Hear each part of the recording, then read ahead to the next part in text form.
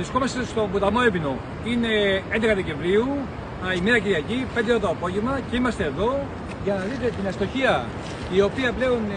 ε, έχει γίνει σε αυτό το ημιμόνιο και χειμερινό πέρασμα στην, ε, της ε, του Επίνου. Ένα πέρασμα το οποίο έχει δημιουργηθεί τεράστια προσδοκία και από την Περιφέρεια αλλά και του Υπουργείου.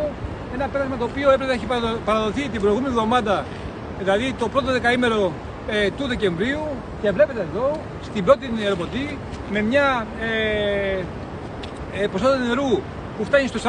40% από αυτά που δίνει ο έβνος ποταμός της χειμερινές περίοδου και βλέπετε εδώ να έχει το σωληνωτό που υπήρχε και η πλακοσκεπή να έχουν ε, σκεπαστεί από τα νερά του ποταμιού ε, να μην υπάρχει πουθενά απορροή ε, μέσα από τα σωληνωτά να έχουν φράξει από φαρτές ύλες και το νερό να διέκλειε πάνω από την κοιτόστοση και από, την, ε, από τα ζαζανέτ που υπήρχαν σε όλο το εύρος. Μιλάμε για μια στοχεία τεράστια, για ένα, ε, για ένα πέρασμα το οποίο στήχησε ε, αρκετά εκατομμύρια ευρώ και ένα πέρασμα που δημιουργούσε προσδοκία ότι πέρα από τα δίκτυα κοινή ωφέλειας τα οποία θα διέρχονται από αυτό το σημείο θα περνούσαν και, και οι κάτοικοι του Γαλατά. Είναι αδιανόητο κατά αυτέ τι συνθήκες με μια τόσο μικρή νεροποντή και μια τόσο μικρή κακοκαιρία όπως ήταν η σημερινή να έχουμε αυτά τα αποτελέσματα σε ένα πέρασμα το οποίο ε, το περιμένανε ε, πώς και πώς κάτοικοι του Γαλατά και του Ευηνοχωρίου για να μην κάνουν την περιπορία των 70 χιλιόμετρων όλο το χειμώνα. Ε, είμαι πάρα πολύ αποσιόδοξο.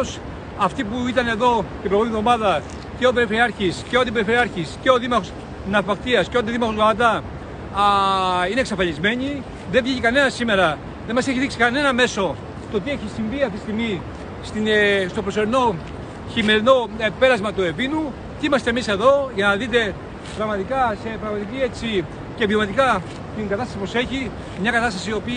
η οποία είχε αναστατώσει όλο το Γαλατά έχω δεχτεί δεκάδες τηλέφωνα.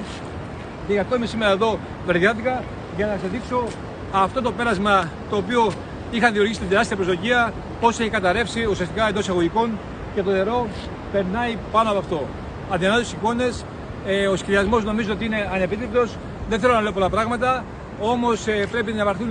μέτρα και να βγουν οι υπεύθυνοι και να μας πούνε πώς με την ε, σημερινή νεροποντή και με την ποσότητα του νερού που υπάρχει στον που είναι στο 40%